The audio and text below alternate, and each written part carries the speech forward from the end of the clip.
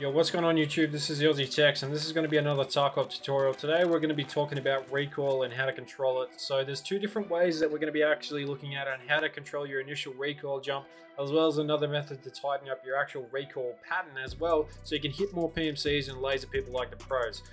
First off, we're going to be looking at the weapon attachments. Now these obviously help with your vertical and horizontal recoil spray pattern and that's going to be different for every single gun in Tarkov. So I just wanted to point that out. And secondly, a lot of new players don't realize and understand that the ammunition that you're putting in your magazines can actually have an impact on your recoil as well. For example, if we look at the 855 round here, it has a minus 5 accuracy debuff, but as we step up in damage and penetration to the 5.6A1 and the 5.5A1, you can see here we have a plus four and a plus five recoil debuff. So that's something to take into account. A lot of new players don't actually realize that the ammunition that you're putting in your magazines can actually impact your spray pattern as well. So as we step up to the shooting range here, we're going to pull out our MK16 and we're just going to put a spray down on this target just here. And that is the main issue that we have in Tarkov at the moment is the fact that when we put this first spray down, the first bullet will hit and then everything else apart from that jumps up quite significantly and that is because the way recoil works in Tarkov is the very first bullet's going to kick up your barrel and then your PMC will start to learn and compensate for the actual spray and put it into a grouping. Now, there's two different ways that we can compensate for this. The first one's going to be the pull down method. Now, the pull down method is not new to any kind of FPS players out there that's been playing games like PUBG, Valorant, CSGO, etc. However, the pull down is nowhere near as significant as in, in those games. In Tarkov, all we're trying to do is eliminate that very first bullet jump, and then our PMC will level and start to compensate for the rest. So all we really need to do is pull down from about that bullet hole down to this bullet hole, and that's about it, because from there, the PMC will start to level that out. So what I'm going to showcase here is we're going to stand up to this very close target, and I'm going to do a pull down spray, and we're just going to try to get all of those bullets in the center mass here. Chuck that in another round. We're going to go for a slightly further target. So as you can see here, the standing spray pattern when we were pulling down was actually quite nice on a closer target, but as we get out to about 10 meters to 15 meters here, you're actually going to have a larger spray pattern that's uh, getting a little bit wild here. One way you can instantly reduce that spray pattern though is to drop into a crouch. This is going to actually reduce the recoil pattern by about 20 to 25%. Chuck this into full auto.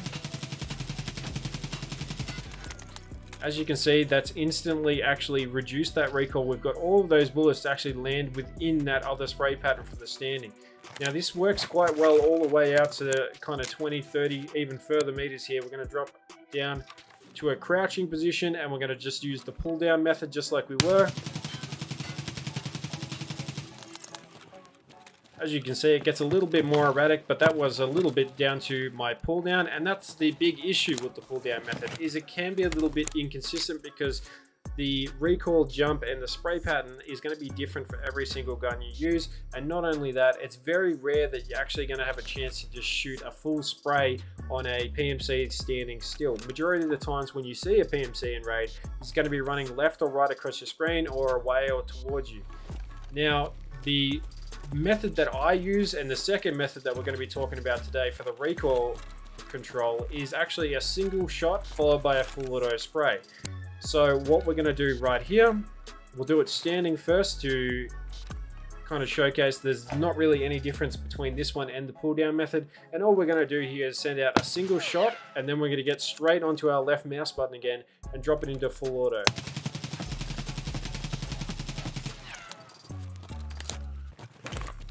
Going to do the same thing right here. One single shot, and then we're going to go straight into full auto.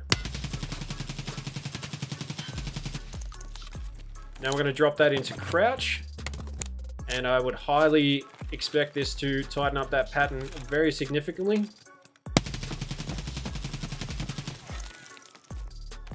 Second mag here.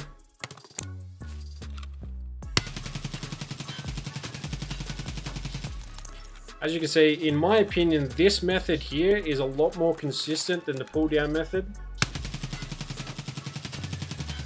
And the real kind of trump card compared to the pull down method is you don't have to worry about having to pull down and then trace and track that player that's running across your screen because once you've pulled down, then all of a sudden your gun starts to level out and you might be shooting them in the stomach or lower legs instead of actually getting them in the torso or head.